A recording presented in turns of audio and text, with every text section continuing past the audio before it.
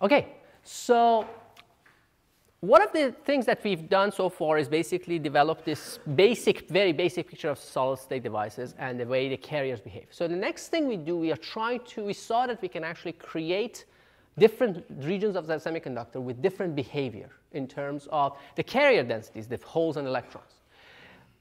Now we got to make a device. We got to actually design something with it. So the first device we'll design is the p-n junction diode, which is actually the simplest thing. If you think about if you can make regions with more electrons than holes, n-type, and regions with more holes than electrons, the p-types, well, the first device that you probably would want to make has some interesting characteristic would be a piece of n and a piece of p attached to each other. So if you think about them as a P, you already make a p-type material by introducing some, let's say, dopants in the, and you know, some acceptors in the material dopants, and then you make some n-type with some donors, then, and if you could put them together, you will make the p-n junction. Now, we don't make p-n junctions that way, just so that we know.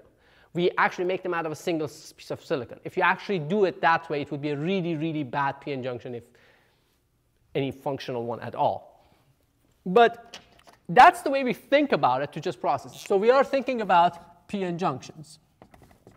And we want to understand how they behave because they are the basis for the more sophisticated, more complex devices that will come later that we'll use quite frequently. And of course, p-n junctions are diodes, and then we'll, we'll also use them too.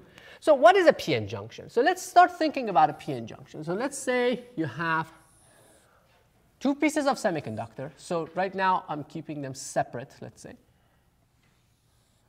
And there's a p-type and there's an n-type. Now, what do we have in a p-type semiconductor? What does it look like? Well, you have a whole bunch of semiconductors, let's say silicon or other materials, atoms, and few, much smaller number of what we call the dopants. These are the atoms we introduce to change the ratio of the electrons and holes. So in the p-type, we have the acceptors, which are basically third column ele uh, elements and they basically, you can think about them. So we are starting at zero Kelvin. So let's say we are at zero Kelvin, at absolute zero. Now at absolute zero, nothing is ionized. Every electron is attached to its associated atom, and they're in the zero state. So what do you have is basically, you can think about this as a bunch of negatively charged ions with associated holes with them, right? So you can think about this as a bunch of ions. So this is going to take me a second to do, and I'm going to cheat.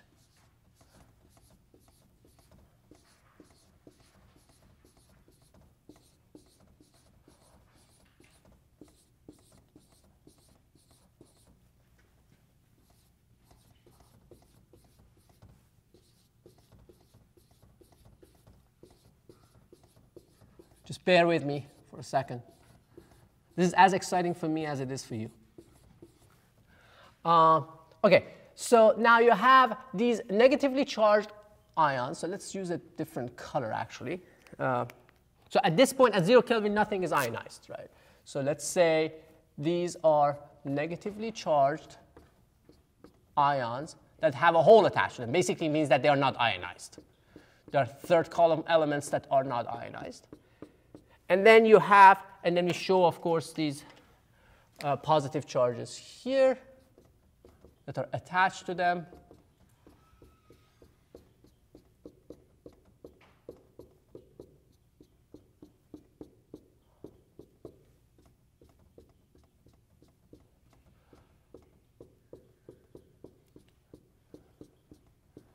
Okay? And then on the other side, on the n-type side, we also have these positively charged ions, which have an electron attached to them. Basically, it means that they are at zero Kelvin, they are not ionized.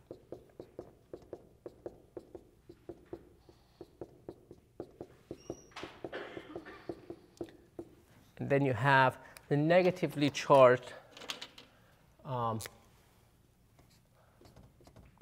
uh, the electrons attached to them. So nothing is ionized, not very exciting. And what would the energy levels look like? So, so now that we're done with the really exciting part, uh, we can get on with our business. So what does the energy level, what do the energy levels look like at, for in, the, in the P side at zero Kelvin? Let's think about it. So you of course have the two energy bands, right? The conduction band and the valence band. So this is the valence band, this is the conduction band. This is the edge of obviously, you know, what from now on, we'll always show it as a line, but what this, would mean is that the conduction band is above this, and by this we mean that the valence band is underneath it. And this is the band gap. So just keep that in mind. So I draw a line, but I really mean the, the border, the edge of the band. So where is the Fermi energy at zero Kelvin? Hmm. So you remember the number of carriers, for example, was given by Ni e to the EF minus EI over KT. We, did, we derived this in the previous lectures. And then P was Ni e to the EI minus EF over KT. Now, at this temperature, there's nothing ionized, right? So your energy level is basically where your EI is, right? Because you're at the Ni of that temperature. So basically, your Fermi energy is in the middle, more or less. And the same thing here. And where are the acceptor levels? So acceptor levels, energy levels, are here.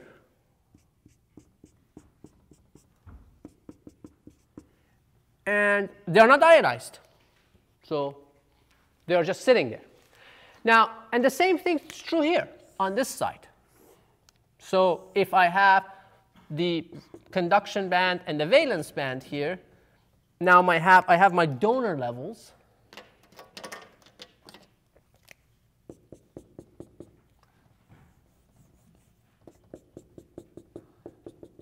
E donor, but they are not ionized, my Fermi energy is here.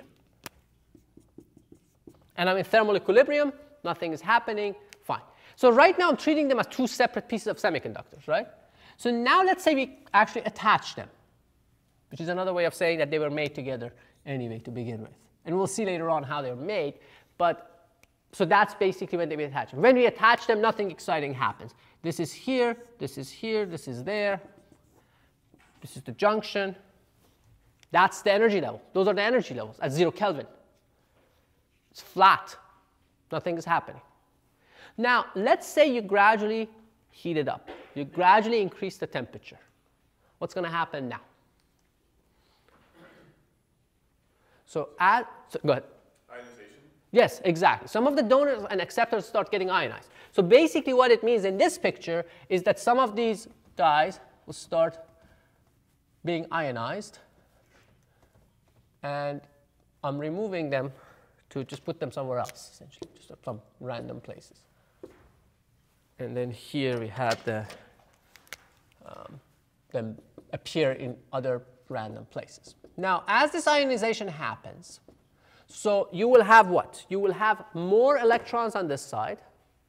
I'm sorry, more holes on this side and more electrons on that side. Now you have electrons, free electrons. These are free electrons and free holes. So what happens as this is going on, as this goes on? Think about that. Now you have two things attached. On one side you have a bunch of electrons, and you have on the other side you have a bunch of holes. And now they're not just stationary. They are moving around. Why? Because of their thermal energy, right? They have thermal energy, and they're very light. So a little bit of thermal energy gives them a lot of speed. So they're going to start bouncing around as soon as they're released. So when they're bouncing around, there's a chance that this hole will end up on the other side every so often. And there's a chance that an electron from this side will end up on the other side. And when an electron from the n type ends up in this side, what happens? What is the, what is the, what is the situation like? So you have an electron in emits of a very large C, reasonably large number of holes. So the chance of it hitting a hole is pretty high. So at some point, these guys, there's a good chance that the electrons that end up on the other side will recombine, will find a hole and they, they hit each other and they recombine. And the same thing is true about the holes on this side. So gradually what happens, and this is most likely to happen where? At the borderline, right? So gradually, your border starts getting depleted of these charge carriers. So you gradually start forming a region, which is basically the free charge carriers are gone because as soon as they end up in this region, there's more probable, there's higher probability of them just recombining with the opposite carriers. Now, this is a complete random process. I've heard this being explained at times as, yeah, the electrons see that there's less electrons on the other side, so they go to the other side, or the holes see, see electrons are pretty dumb. They're not that smart, right? Um, so they're just moving randomly around. And what happens is that they just kind of end up on the other side, and there's a higher chance of recombination on the other side because there are a lot of chances for recombinations. There's a lot of opportunities for that. Yes, question. What, do you mean, what about diffusion? So what about diffusion? So the question is, what about diffusion? There are less electron there, there are some electron here, so it's gonna, it's gonna flow there. So it's not that random, right? This is diffusion. The random thermal movement of electrons is diffusion. Actually, in this explanation, I actively stay away from the word diffusion purposefully because I want exactly to, to people, kind of to, for people to realize that there's nothing magical happening about it. This random thermal movement is, in fact, a diffusion. But I don't call it diffusion because I want people not to think that this is something very fancy or special. This is a very, very simple thing happening. Now, diffusion equation describes the flow due to random thermal movement? Yeah, good question. Any other questions? Yes? Uh, what does this look like in terms of the energy? Yes, that's what we're going to do next. Great, good, question. So, it, once before, so the next question is the question was how does it look like in terms of energy band diagrams? And so let's let's find out. So but for that to have to think about, uh, for, for, that to, to be found out, just let's think about one thing. Now, once this region is formed that's mostly depleted of carriers, and we are showing it kind of like an, like an abrupt thing, but it's really a transition. It's a gradual thing. But this abrupt transition is a good approximation, and we'll know why we'll soon. But it really goes back to this exponential because you have an exponential drop, and the exponential drops happen really rapidly. So it basically, this, but it's called a depletion approximation, that you can just basically assume that this is a well-defined region. It's a pretty good approximation because of this exponential. But going to this thing, what is happening here? What is going on here in this region? What do you have? You have a little bit of an electric field, right? Because now you have positively charged ions here that cannot move.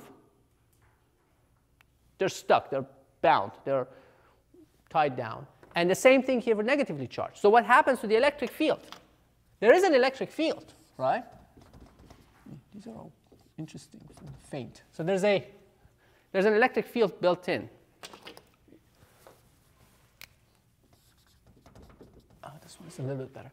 Um, okay, so what does this electric field do to this process? Now, does it facilitate this random movement of electrons from one side to the other and the holes from one side to the other, or does it impede? Think about it. Now, if there's an electric field here in this direction, is it easier for a positive charge to go from this side to that side? Does it experience a re resistive force, a repelling force? Yeah, no, it's, it's a, yeah, it's like, yeah, go back. We were here first. And, say, oh, and this, this guy says, oh, no, no, go back, right? So there's a built-in potential. So now let's see how it's reflected in the energy band diagram. So now still, there's no external potential applied to this thing. This is just sitting there. Now the energy band diagram, so if it's sitting there and it's in thermal equilibrium, one thing needs to be constant across this thing, which is the Fermi energy, right? So now what happens is that we said there's some ionization happening on this side. So we are at T above 0 Kelvin, but still below room temperature. So there's some ionization happening. And, oops, sorry, the other way. Um, so this is the n term. Okay. I did some, poor planning in my drawing, but it's okay.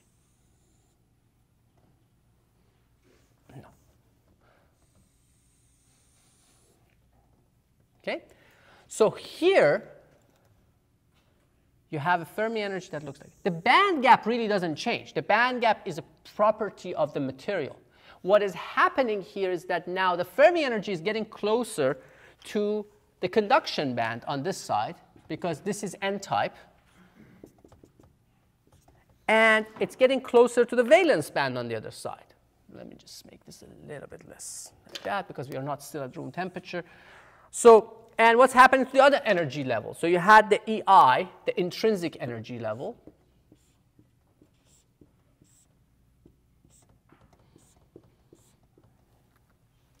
So you can see here, EF is above EI, the intrinsic energy level, which is kind of like halfway through. It's not exactly in the middle of the conduction band and valence band, but it's kind of close. And the reason it's not half exactly in, in the middle is that the energy states, the density of states and this state and that state, the NC and NV are not exactly the same. So here, this gap remains the same. I try to keep it the same more or less. It may not be exactly the same. The band gap. The Fermi energy remains constant across the thing. So this is our Fermi energy. Fermi level. And here what you see is that on this side, you have EI that's greater than EF. So what you will have? What will you have? You will have a lot more P's, holes, than N's, right? And on this side, you have EF that's above EI. So you will have a larger number of electrons. So there's this built-in electrostatic potential as a result of this thing. So there's this, there's this built-in potential that's there. Part of it is on the p side and part of it is on the n side. So we can actually even give it a name and calculate it. So we can say this is psi um, q psi p, and this is q psi n. Now, psi, psi is basically measured in voltages. And this is electric, this is, this is the energy, right? So we want to convert from the energy to the electric voltage, you have to scale by the charge. So that's why there's a Q term there. So this is the way it looks like. And now the energy band diagram for, for this. Now, as the temperature goes to the room temperature, so let's say it goes to the room temperature, what happens is that at room temperature, these, ion, these dope, dopant, the donors and acceptors, are completely ionized. And as a result, what happens is that you will be in a situation where these are a little bit farther up, and the Fermi energy is close to these bands. And with respect to the acceptor and donor energy, so this is where the acceptor, uh, acceptor energy levels are. And this is where the donor energy levels are. Where's the, what was the appropriate color for that? I don't know. So at that point, you have formed a slightly larger depletion region. Let's say like this. And you have basically an ionization happening in this region, and you have an electric field built in. So now let's look at this energy band diagram, see if it makes sense. It seems to show that this side is higher than that side. But if you think from an energy perspective, if you take a positive charge, if I move it, is it harder to move it from this side to that side, or is it from, from left to right, or from right to left? So it's easier to move it from right to left, right? Because the electric field will help it. So it, this appears to be upside down, right? Because it should be the other way around. It should be downhill going from here to there. But it looks uphill. Why? So this is a common question, common confusion. I'm just, yes? Because those are electrons? Correct. These are the energies of electrons. These are the energy band diagrams of the energy band diagrams of band energies of the electrons. And electrons are negatively charged. So for an electron, it is hard to go uphill this way. It's uphill this way.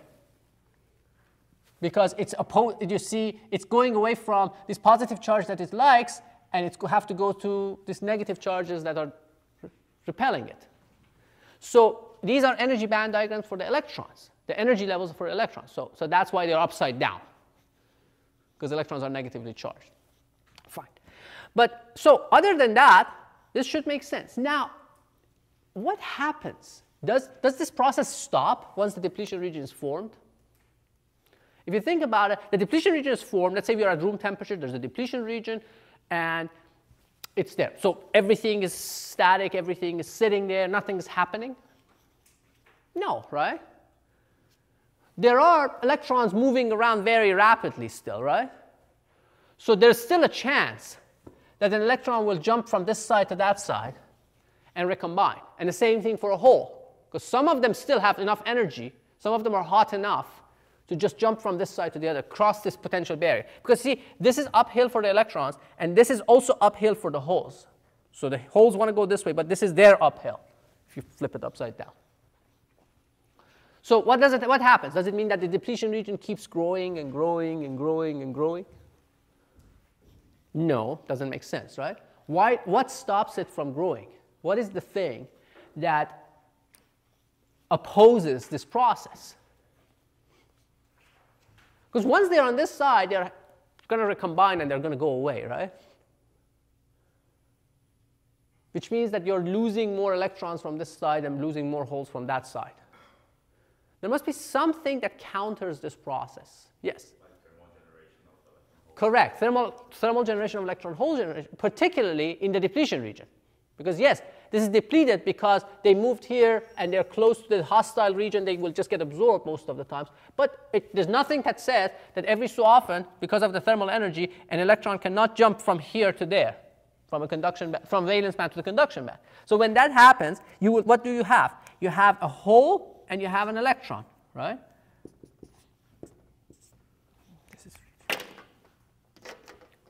Right? So you have a hole and you have an electron. So which way would they go? Downhill. This guy will go this way. This guy will go that way. Their downhill is different, but the electric field will just basically, if you look at the electric field, you see that's the direction they will go. Now, is this opposing the flow? Yes, because now there's a flow of electrons back to the n-type and a flow of holes back to the p-type region. So in steady st- in, in, equilibrium and steady, in steady state as well, by, by definition, if you have you know, thermal equilibrium, uh, what happens is that you are that this this current, this generation, thermal generation current, is going to oppose the diffusion current. Now, what is that? Where is that diffusion current that we talked about earlier comes from? What is that thermal energy current coming from? Because if you think about it, these electrons on the p side, on the n side, have a Fermi-Dirac distribution, which we said for energy levels that are sufficiently far away from the Fermi level, which is 3 kT, which is not that much, 75 millivolts or 75 millielectron volts, if you're talking about energy, you can use Boltzmann distribution, which is basically an exponential. So if you think about it, these guys, there are still some of them that are hot enough, so they can go. But these folks who cannot do a jump over like a fence, they can just basically or bounce back. Okay? Now, and the same thing for the holes. So the holes also experience a similar situation. So there's a distribution of these guys, and these folks go through, and these are bounced back. Now, this current, this thermal current, is balanced in steady state completely by this generation current, by this process of electron hole generation, which goes back. Does this make sense? Qualitatively? Any questions on that before we move on? So, what, is, what are these, some of these parameters, right? So, so let, let's, let's calculate some of these things. So first of all, what is this built-in potential? This, this built, we call this a built-in potential, right? Because there's an electric field difference. How can we calculate that? How can we calculate what this built-in potential is? Do you agree that this built-in potential is q psi n and uh, q psi, psi n minus psi, psi p, right? Psi p minus n, or the sum of these two. So what is this one? Let's say psi p. What is it? Let's calculate that. If you say q psi p, which is basically the energy difference between the e, EF and EI, right? So it is going to be E, um, in this case it would be EI minus EF for here on the p side. What is that? Do you, but look at this equation, or look at this equation perhaps, and tell me what that is. Well, you can solve for EI minus EF from this equation, right, and use it there. So if we solve for that, what do we get? Now, we get P, which is the density of the holes in the bulk of the p-type. What is the density of the holes in the bulk of the p-type? at room temperature? Na, right? Because you've doped it, and we said at room temperature, if you design, if you have the right kind of material, then all of them are ionized. The number of holes is essentially dictated by that density. So this is going to be Na, and this is going to be Nd also. So we know Na because we designed it to be what it is. So this is going to be Kt natural log of N um, Na over Ni, which is the intrinsic level. It's 1.45 10 to the minus 10 per cubic centimeter. It's a fixed amount, fixed quantity. So you know psi p. So psi p is basically q, uh, that divided by q, the charge of the electrons. And then similarly for psi n, the built-in potential, electric potential on the other side, is going to be EF minus EIN this difference. And similarly from this, you can calculate what that is, which basically is going to be kt natural log of nd over ni. And therefore, psi n minus plus psi p, which is the sum of these two, is going to be kt over q. This is in volts, right? Na nd divided by ni squared. So this is the voltage. This is the voltage across this thing has to be equal, which is some of these two built-in potential, has to be equal to that. So this is the built-in potential. So this is the height of this barrier that gets built naturally when you actually have this random thermal movement and you can calculate these, these, these are known quantities, right? So you've designed it to have a certain doping level on the acceptor side, the, the p side, and the n type. And this is an, these are this is a constant of silicon. For example, for silicon is 1.45 10 to the minus 10, uh, 10 to the 10 uh, per cubic centimeter. These are physical constants and the temperature, right? So you can calculate the height of this electric built-in potential. So and of course, this quantity, how many, what is this? What, how, much are, how many electrons are there that are hot enough that can go through? The number of these hot electrons that, are, that can still pass potential barrier. What is it proportional to? You remember from last time we did a calculation. We said that the number of electrons above a certain e, E1, or not charge carriers in Boltzmann distribution, was proportional to the e to the negative E1 divided by kt. That's Boltzmann distribution. Right? So this is proportional, the number of these things is proportional to the e to the negative. Now this is the potential barrier, e to the q psi naught divided by kt. Call this psi naught. Right? So that is the height of the potential barrier, which we calculated. So this, the number of electrons that can pass is proportional to that. So is the number of holes because they also experience the same potential barrier height. So the barrier height is the same for both of them. Right? So it's proportional to that. And that has to be equal. So now that whatever that is, that, that total number has to be equal to the generation current. So this is also equal to generation current in steady state. Because they are in steady state, they are in thermal equilibrium. So all of that is nice and good but it's not still particularly useful. Why it's not particularly useful? Because it just shows what it is in thermal equilibrium without any external influence. If you're making a device, we want to do something with it.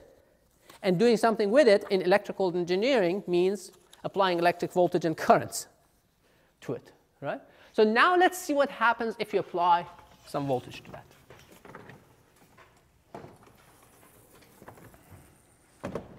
So we're going to stay with this picture and say, look, I'm not going to do all of those again.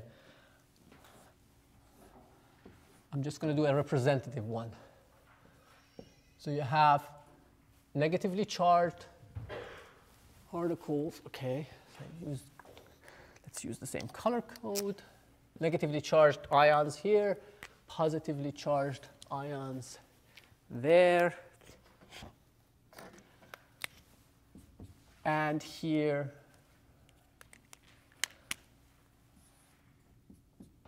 and there.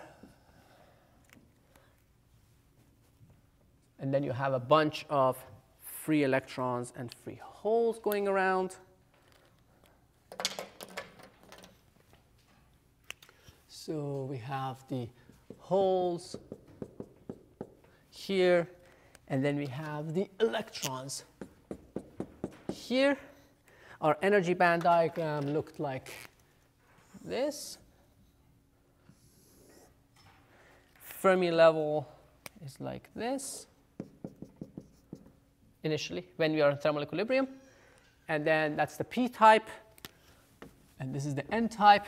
And the electric field is pointing this way. OK, so we're back here. But now we are going to do something. We are going to apply an external electric field to it. And I'm going to apply a voltage called, let's call it VD, the voltage across the diode, because this is a diode, well, as we'll see. So what happens if I apply a bias like this? By the way, is it a forward bias or reverse bias the way I've applied it? The positive is going to P. Positive is going to positive, negative is going to negative, so it's forward. So I'm forward biasing it from an electrical, from a circuit perspective. So what does that do to the potential barrier and the depletion region? If you think about the depletion region. Now what, what does this do? So injecting positive charge into here and negative charge into here. So, say again? Shrink the depletion region, right? Exactly, because you have now more electrons and holes that are available, so they can come in and just like fill up these empty spaces where they were kind of ionized before, so they can come in and be here and neutralize the charge here. So the electric field will go down. The potential barrier will be lowered. By how much? The potential barrier will be lowered by how much? QVD, right? So what happens is that, or, um, so this potential barrier now is lowered compared to before. So this is where it was before, and this is where it was before. Now it's lowered by QVD. So now remember, let's think about those charge carriers and the distribution. So before, you had this distribution, and these were the guys who could pass, right? These were proportional to e to the negative q psi naught over kt. Now, a whole bunch of new electrons can pass too, because now I've lowered the potential barrier. Right? So now that I've lowered the potential barrier by QVD, now how many can pass? So now, basically, all the stuff that's kind of happening is going to be proportional to the e to the psi naught minus Vd over Kt, the minus sign. So now all of them can pass. So th this is basically the whole thing, right? Including those guys. So what is the net increase in the number that can pass? Do you agree that this, if this is this whole thing, and this is this top part, this net part is the difference of these two, proportional to the difference of these two. So the net flow of electrons, let's say Jn, is going to be proportional to the E to the Q psi naught minus Vd over Kt minus e to the negative q psi naught over kt, which I can write as e to the negative q psi naught over kt times e to the neg- e to the q vd over kt minus 1.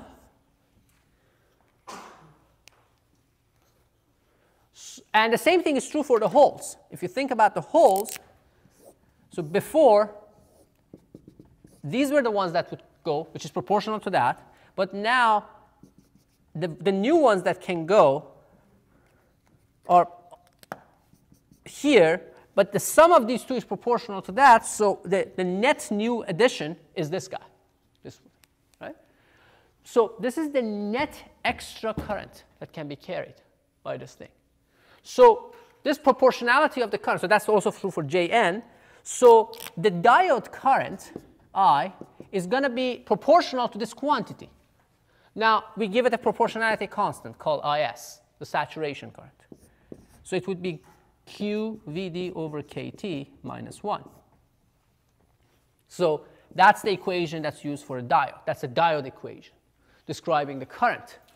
And what you see, there's so, so okay, so equations, etc., etc. What is the takeaway from this? What's the meaning of this thing? PN junction diode does all the work because of the immense amount of thermal energy that is there in the electrons. It's just a way of utilizing that thermal energy.